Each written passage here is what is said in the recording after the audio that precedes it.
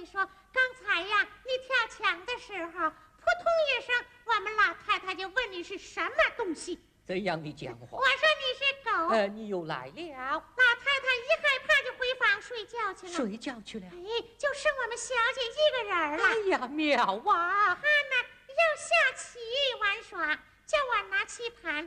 哎，我拿着棋盘，支着你的身子，引你进去。